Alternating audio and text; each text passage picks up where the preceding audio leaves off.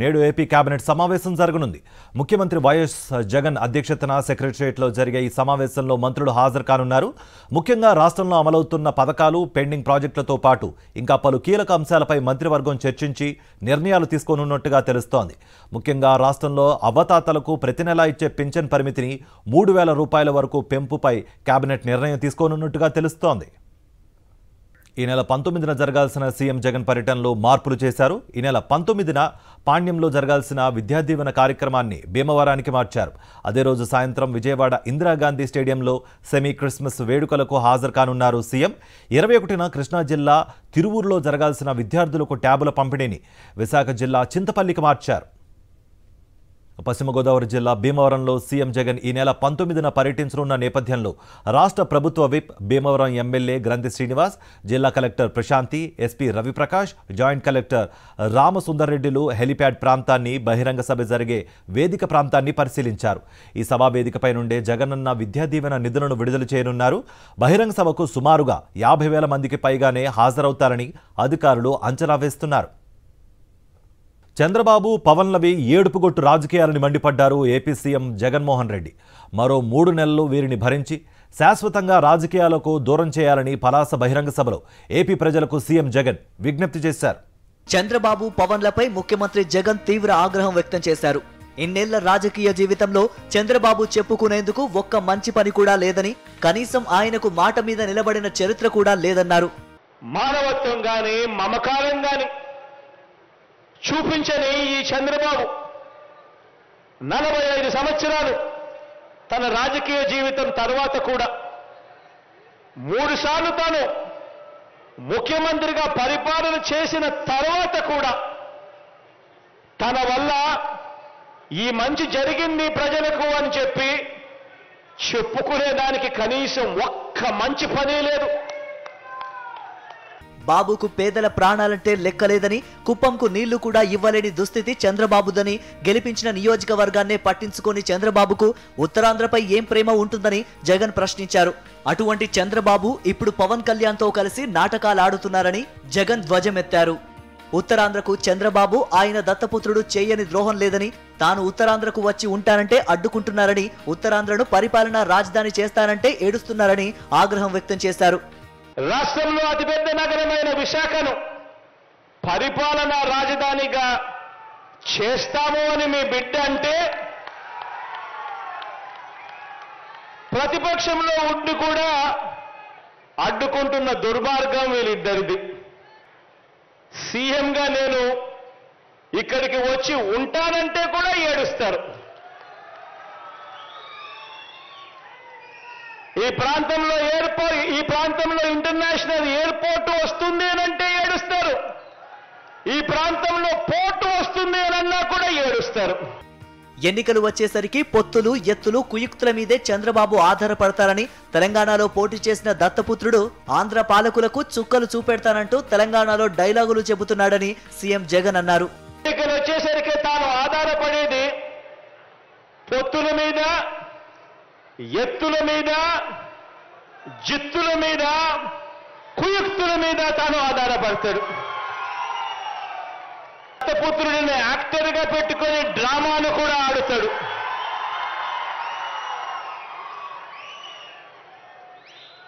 ఈ దత్తపుత్రుడు ఎవరు అనంటే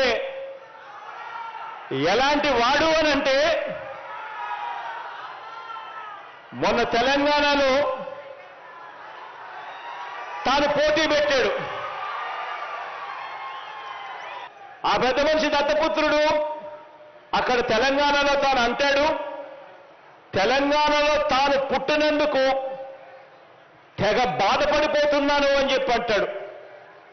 తెలంగాణలో తాను పుట్టినందుకు తన దురదృష్టం అని చెప్పి కూడా అంటాడు. ఇలాంటి వ్యక్తి మొన్న తెలంగాణలో ఇలాంటి డైలాగులు కొట్టిన నాన్ లోకల్ ప్యాకేజ్ ఇస్తారు ఈ పెద్ద మనిషి చంద్రబాబు నాయుడు గారికి ఇంకొక పార్ట్నర్. తెలంగాణలో పవన్ కళ్యాణ్ పార్టీ అభ్యర్థులకు ఇండిపెండెంట్గా పోటీ చేసిన బర్రెలెక్కకు వచ్చిన ఓట్లు కూడా రాలేదని సీఎం జగన్ గుర్తు చేశారు. ఆ తెలంగాణలో పోటీ పెట్టి ఇన్నిన్ని డైలాగులు ఆంధ్ర రాష్ట్రానికి వ్యతిరేకంగా కొట్టిన ఇన్నిన్ని డైలాగులకు ఆయనకు పడిన ఓట్లెన్నో తెలుసా? చివరికి అక్కడ ఇండిపెండెంట్గా నిలబడిన చెల్లెమ్మ బర్రెనెక్కకు వచ్చిన ఓట్లు కూడా ఈ పెద్ద మనిషికి చెందిన ఈ పెద్ద మనిషికి దత్తపుత్రుడికి రాలేదు. అధికారంలో ఉన్న ప్రతిపక్షంలో ఉన్న ఉత్తరాంధ్రకు చంద్రబాబు ఆయన దత్తపుత్రుడు చేయని ద్రోహం లేదని జగన్ విమర్శించారు. పక్క రాష్ట్రంలో ఉంటూ ఆంధ్రప్రదేశ్ పై పడి ఏడుస్తూ ఉంటారని బాబుతో సహా నాన్ లోకల్స్కు ఏపీపై ప్రేమ లేదని ఈ ప్రాంతం అభివృద్ధి చెందుతోందంటే ఏడుస్తూ ఉంటారని బాబు అండ్ కోపై ఆగ్రహం వ్యక్తం చేశారు. ఈ ఏడుపంతా కూడా వేరే రాష్ట్రంలో శాశ్వత నివాసం అక్కడ ఉంటూ ఒక దొంగల ముఠాగా వీళ్ళంతా కూడా తయారై ఓ చంద్రబాబు ఓ రామోజీరావు ఓ దత్తపుత్రుడు ఓ రాధాకృష్ణ ఓ టీవీ ఫైవ్. వీరంతా కూడా ఒక దొంగల ముఠాక వీరంతా కూడా తయారై వీరంతా కూడా మన మీద పడి ఏడుస్తూ ఉంటారు. ఆశ్చర్యం ఏమిటో తెలుసా? వీళ్ళల్లో ఎవరు కూడా మన రాష్ట్రంలో ఉండరు. వీళ్ళంతా ఉండేది ఎక్కడానంటే అందరూ కూడా హైదరాబాద్లో ఉంటారు. ఈ క్యాన్సర్ గడ్డల్ని మరో మూడు నెలలు భరించాలని జగన్ విజ్ఞప్తి చేశారు. కేవలం మరో మూడు నెలలు భరించండి. కేవలం మరో మూడు నెలలు భరించండి. ఈ క్యాన్సర్ గడ్డల్ని వచ్చే ఎన్నికల్లో పూర్తిగా తొలగించండి అని చెప్పి ఈ సందర్భంగా తెలియజేస్తా ఉన్నా. ఇటువంటి నాన్ లోకల్స్ అంతా ఇటువంటి పేదల వ్యతిరేకులంతా ఇటువంటి పెత్తందారులంతా కూడా శాశ్వతంగా మన రాష్ట్రం వైపు కన్నులెత్తి కూడా చూడకుండా తీర్పు ఇవ్వండి అని చెప్పి మిమ్మల్ని అందరినీ కూడా సవినయంగా కోరుతా ఉన్నా. ఈరోజు మీ అందరితో కూడా నేను ఒకటే కోరుతా ఉన్నా. రాబోయే రోజుల్లో ఇంకా అబద్ధాలు ఎక్కువ అవుతాయి రాబోయే రోజుల్లో ఇంకా మోసాలు ఎక్కువ అవుతాయి కానీ ఒకటే ఒకటి గమనించండి. ఎవరు మాటిచ్చారు? మాట మీద నిలబడింది ఎవరు అన్నది మాత్రం ఖచ్చితంగా గుర్తుపెట్టుకోండి. ఎన్నో ఏళ్ళ కళ నెరవేరిందని ఉత్తరాంధ్రను అభివృద్ధి చేయాలన్న లక్ష్యానికి అనుగుణంగా పనిచేస్తున్నామని సీఎం జగన్ పలాస బహిరంగ సభలో ప్రజలకు వివరించారు. ఉద్దానంలో Sujaladhara స్రవంతిని kidney research and super speciality hospital ప్రారంభించినందుకు గర్వంగా ఉందని జగన్ అన్నారు. ఎన్నికల్లో ఇచ్చిన హామీలను తొంభై ఎనిమిది శాతం నెరవేర్చిన ఘనత సీఎం వైఎస్ జగన్కే దక్కుతుందన్నారు. YSRCP MLC Indukuri Raghuraju. పార్టీలు కులాలు మతాలకు అతీతంగా అర్హులైన ప్రతి ఒక్కరికి సంక్షేమ పథకాలు అందిస్తున్నామని అన్నారు.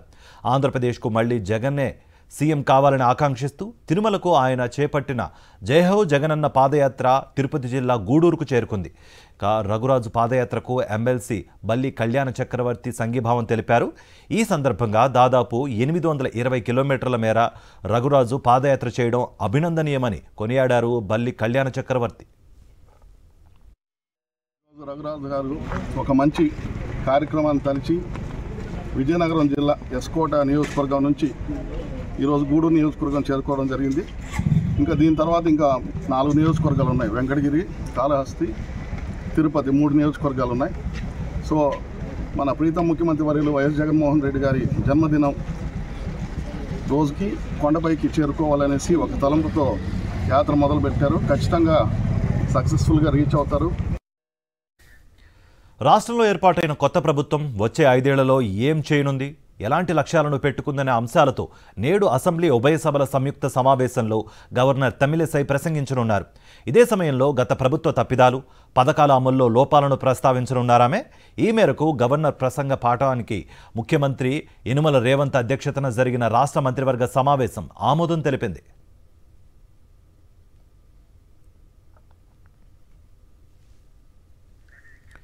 గురువారం రాష్ట్ర శాసనసభ వాయిదా పడ్డాక అసెంబ్లీ ఆవరణలోనే కేబినెట్ భేటీ జరిగింది. CM Revanth deputy CM Bhatti Vikramarka ఇతర మంత్రులు ఉన్నతాధికారులు ఇందులో పాల్గొన్నారు. గంటన్నరకు పైగా సాగిన సమావేశంలో గవర్నర్ ప్రసంగ పాఠంతో పాటు పలు ఇతర అంశాలపై చర్చించారు. రాష్ట్రంలో కొత్త ప్రభుత్వం ఏర్పడిన తర్వాత గవర్నర్ తొలిసారిగా ఉభయ సభలను ఉద్దేశించి మాట్లాడనుండడంతో ప్రసంగ పాఠంలో ఎలాంటి అంశాలకు ప్రాధాన్యత ఇవ్వాలనే దానిపై మంత్రివర్గం కసరత్తు చేసింది. పాలన ఆర్థిక అంశాల్లో రాష్ట్రంలో ప్రస్తుత పరిస్థితి వచ్చే ఐదేళ్ళలో కొత్త ప్రభుత్వం అనుసరించే విధానాలను గవర్నర్ ప్రసంగం ద్వారా వివరించాలని నిర్ణయించింది.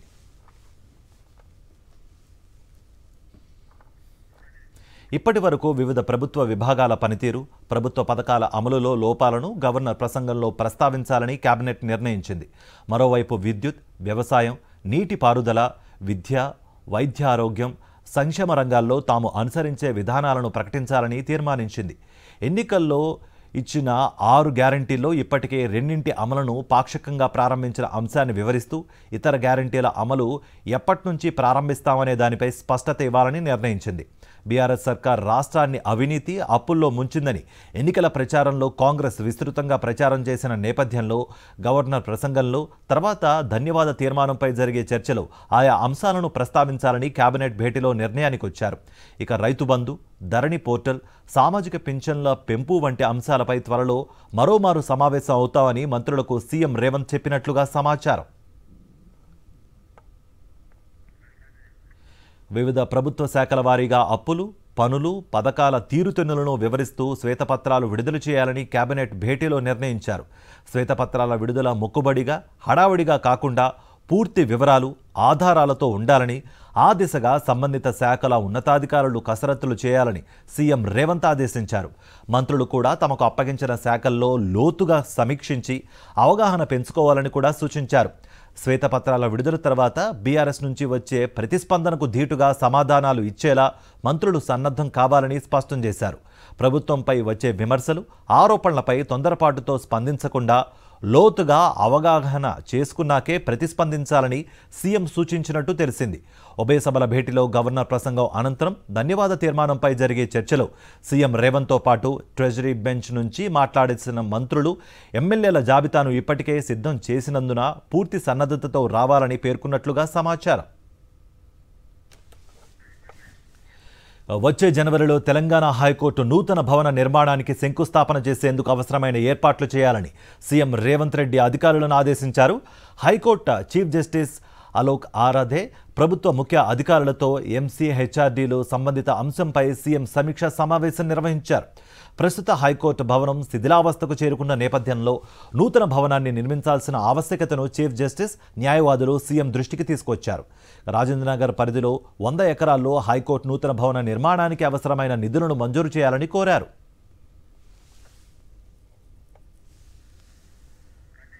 కొత్త జిల్లాలో కోర్టు కాంప్లెక్స్ల నిర్మాణానికి కూడా చొరవ చూపాలని చీఫ్ జస్టిస్ న్యాయవాదులు సీఎంకు విజ్ఞప్తి చేశారు. ఇప్పుడున్న హైకోర్టు భవనం హెరిటేజ్ బిల్డింగ్ కాబట్టి దాన్ని పరీక్షించాల్సిన బాధ్యత ఉందని కూడా సీఎం గుర్తు చేశారు. ఆ భవనాన్ని రెనోవేషన్ చేసి సిటీ కోర్టుకు లేదా ఇతర కోర్టు భవనాలకు వినియోగించుకునేలా చూస్తామని రేవంత్ రెడ్డి హామీ ఇచ్చారు. ఈ సమీక్షా సమావేశంలో CS Shanti Kumari CM principal secretary Seshadri Hyderabad Rangareddy జిల్లాల కలెక్టర్లు ఐఏఎస్ అధికారి నవీన్ మిట్టల్తో పాటు ఇతర అధికారులు కూడా పాల్గొన్నారు. తెలంగాణ మాజీ సీఎం కేసీఆర్ ఇవాళ యశోద హాస్పిటల్ నుంచి డిశ్చార్జ్ కానున్నారు. గత వారం ఆయన కాలుకు గాయం కావడంతో తుంటికి సర్జరీ చేశారు వైద్యులు. ఆయన పరిస్థితి మెరుగుపడటంతో ఇవాళ ఇంటికి పంపనున్నారు వైద్యులు. ఆయన యశోద ఆసుపత్రి నుంచి నేరుగా ఇంటికి వెళ్ళనున్నారు